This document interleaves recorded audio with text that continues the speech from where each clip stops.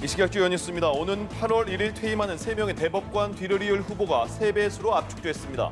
조희대 대법원장은 오는 19일까지 법원 안팎에서 의견을 수렴한 뒤 후보자 3명을 선정해 윤석열 대통령에게 임명을 제청할 예정입니다. 대한의사협회가 다음 주 화요일 집단 휴진을 예고하면서 환자들의 불안이 커지고 있습니다. 한덕수 국무총리는 집단 휴진이 현실화하지 않도록 마지막까지 의료계를 설득할 것이라고 말했습니다. 민주당이 21대 국회에서 대통령의 거부권 행사로 폐기된 김건희 여사 특검법을 22대 국회에서 다시 제출했습니다. 방속 4법도 당론으로 채택하면서 입법 드라이브에 속도를 내고 있습니다.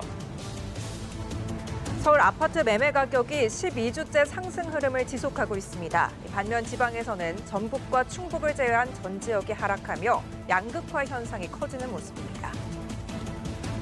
김건희 여사에게 명품백을 건넨 최재형 목사가 경찰에 출석해 7시간 조사를 받았습니다.